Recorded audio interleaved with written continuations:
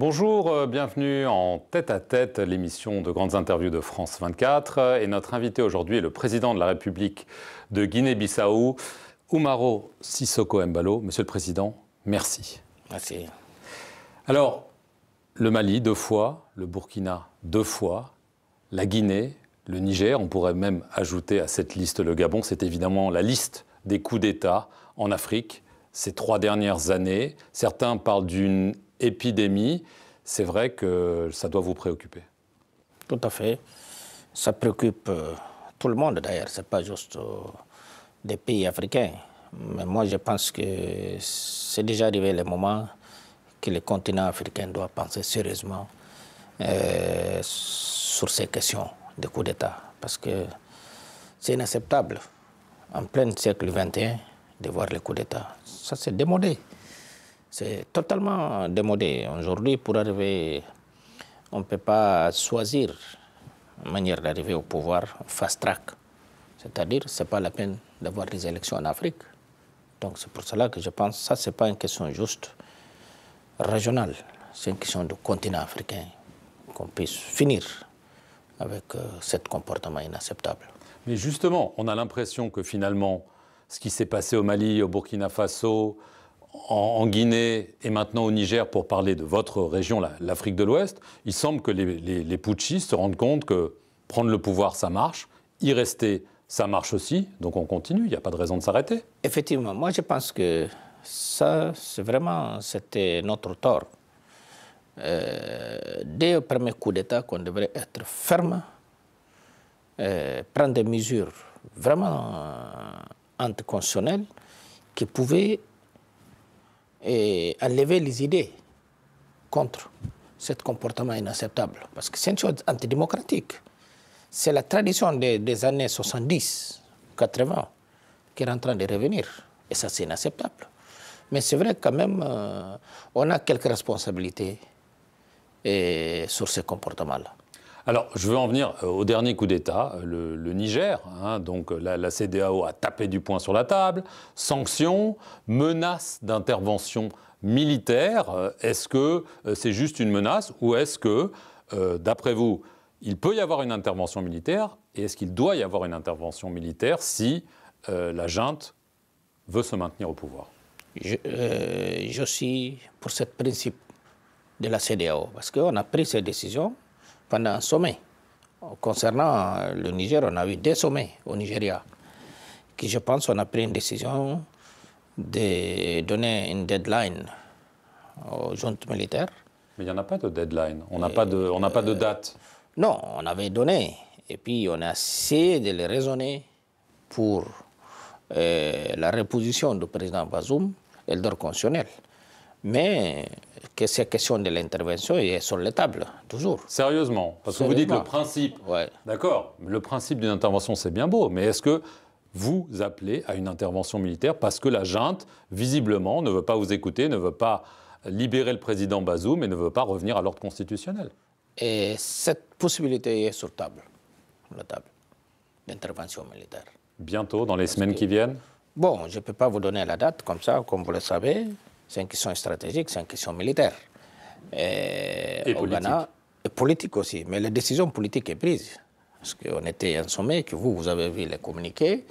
Mais pour la crédibilité même de la CDAO. Parce que là, c'est la, euh, la, crédibilité de la CDAO qui est en jeu, qui est très important. Que la CDAO reste une organisation crédible.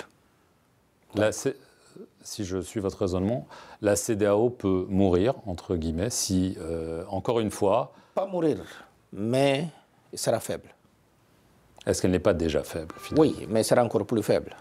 Aujourd'hui, je vois, euh, on est en train de partir dans une situation qui peut arriver même d'une CDAO qui n'existe plus, comme des autres organisations régionales. Et ça sera grande peine pour nous. Donc elle est en danger de mort. Voilà. Donc moi je pense que nous tous, la CDAO, les, les, les, pays membres de la CDAO, avec l'appui des communautés internationales pour faire repositionner la CDAO. Et la CDAO doit trancher, par, euh, devrait commencer pour quelque part. C'est vrai que qu'on a créé passé, Mali, Burkina, effectivement, là, c'était. Mais c'est pas parce que les gens ont fermé l'œil ou il a fait un des poids, poids à mesure, des poids à mesure, que, effectivement, nous, on ne pouvait pas vraiment intervenir au, Niger. Non. Le Niger accuse la France de vouloir participer à une intervention militaire. Euh, la junte affirme que la France a euh, dépêché euh, des forces en Côte d'Ivoire, au Bénin. Est-ce que la France, voire d'autres pays occidentaux par exemple, pourraient participer à cette intervention militaire? Non, moi je ne suis pas là pour répondre aux questions d'intervention de la France ou non. Tu sais, vous savez qu'il y a beaucoup d'intoxication, il y a beaucoup de désinformation. Ça, c'est pour moi, j'ai aucun élément qui peut me faire voir que la France a fait bouger leurs forces en Côte d'Ivoire. Je ne savais même pas, ou je ne sais même pas si la France a une force en Côte d'Ivoire. Elle a une base. Donc, pour voir que. Mais ça, c'est une affaire de la CDAO. Je pense que c'est nous de la CDAO qui, qui doit prendre ça à main et payer à lever les idées parmi les autres pays aussi. Est-ce que il y a, vous deviez euh, être un des médiateurs euh, Vous n'êtes pas allé à, Niamey. Aujourd'hui, il n'y a plus de médiation, il n'y a plus de, de discussion. Il n'y a pas de médiation parce que normalement, la tradition, une fois qu'il y a une crise dans un pays, il y a des chefs d'État, des chefs d'État, un ou des chefs d'État qui est chargé de la médiation. Que ce n'était pas le cas de, de Niger. Mais moi, euh, je devrais y aller. Mais après de comprendre que euh, il y avait des, euh, le Nigeria avait dépêché des médiateurs et tout ça qui n'est pas réussi. Des chefs religieux. Chefs religieux. Et moi, j'ai compris que les chefs, les religieux doivent rester.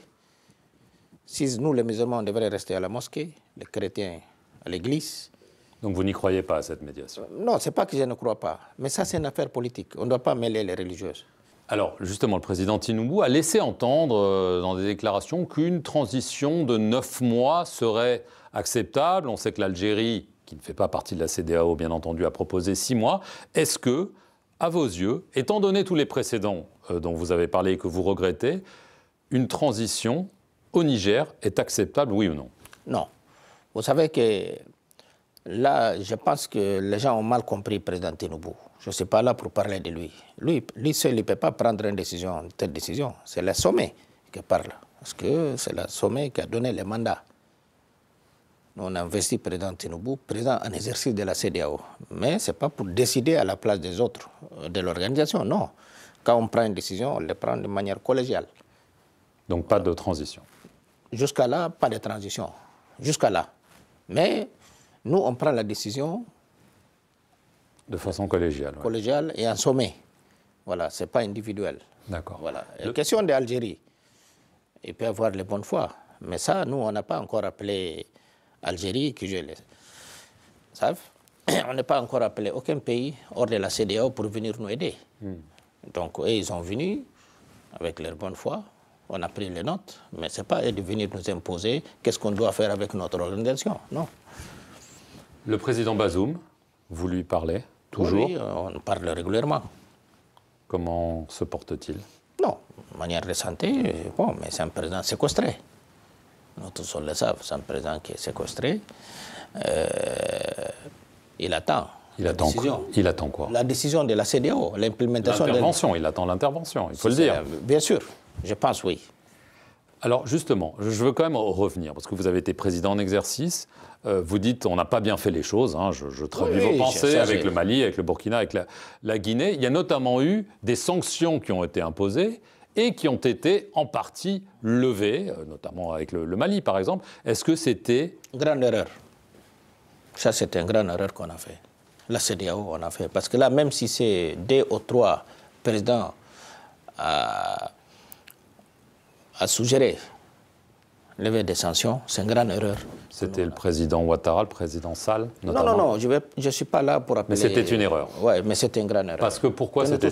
Pourquoi oui, parce que si on avait continué avec cette dynamique, aujourd'hui, on avait, euh, CDAO pouvait obtenir la meilleure solution pour le peuple malien et le peuple burkinabé. Euh, je veux en venir euh, rapidement chez vous. on, on, parlait des coups d'État. Vous avez très récemment remplacé les deux responsables de la sécurité, on se souvient qu'il y avait une tentative de putsch en février de l'an passé, en 2022. Est-ce que vous avez peur d'un coup d'État, Monsieur non, le Président Non, non, non, pas du tout. Pas du tout. On ne change pas les gens de la sécurité si on est rassuré, non Je n'ai pas changé, j'ai nommé. Oui. Je n'ai pas changé, j'ai nommé. Donc c'est différent. Mais pourquoi vous les avez nommés maintenant? Non, non, mais ça c'est un changement normal. Un changement normal. Ça n'a rien à voir avec. Non, pas du tout. Vous ne craignez pas, un coup d'État chez vous L'histoire est quand même chargée à ce niveau-là. Non. Moi, les choses, moi, je sais, je suis venu comme président de la République. Le destin, je crois beaucoup en Dieu et c'est déjà le jour que je vais partir. Comment, je ne sais pas. Euh, dernière question, euh, vous avez perdu nettement hein, les élections législatives euh, récemment. Voilà, mon parti. Pas vous, votre parti, c'est exact, mais il y a dorénavant un Premier ministre de l'opposition. Il y a une cohabitation en Guinée-Bissau. Alors quand on parle de, de coup d'État, sans même parler des, euh, question de troisième mandat, est-ce que ça a pu euh, créer comme débat et comme, comme polémique euh, C'est un peu inédit dans votre pays. Est-ce que ça se passe bien? Est-ce que ça va bien se passer? Ou est-ce qu'on va vers une confrontation? Non, non, non. Là, il y a un chef qui est le président de la République. C'est comme ici en France. Nous, on a une, constitution similaire à celle de la France. Hmm. Il y avait la cohabitation entre Mitterrand et Chirac. Oui, il y avait deux chefs à l'époque. Ouais. Bon, là, il y a un chef. C'est vous? Guinée-Bissau, oui. Le Premier ministre, il n'y a pas de problème. Non, non. Il n'y aura pas de problème. C'est moi qui l'ai nommé. C'est vous qui l'avez nommé. Voilà, c'est moi qui l'ai accepté et nommé, ça se passe bien. Et puis, c'est un gentil garçon. Euh, jusqu'à là, euh, on doit se cohabiter ensemble parce que le peuple a choisi comme ça. J'aurais aimé qu'il soit mon parti à gagner les élections. Mais bon, malheureusement, le peuple a choisi de l'autre manière. Et vous l'acceptez? Bien sûr, en tant que démocrate. Et le président il donne l'orientation, il surveille, il conseille. Voilà. Et vous allez gagner les élections présidentielles l'an prochain? Si je pars, oui. Ça, je peux vous l'assurer. Mais vous n'allez pas y aller? Je ne sais pas. Tout est ouvert. J'ai en train de regarder. Mais tout s'indique que oui, je vais partir. Vous allez y aller Oui. Monsieur le Président, merci beaucoup euh, d'avoir répondu aux questions de France 24. Et merci à vous euh, de nous avoir euh, regardés. Restez sur nos antennes pour plus d'informations.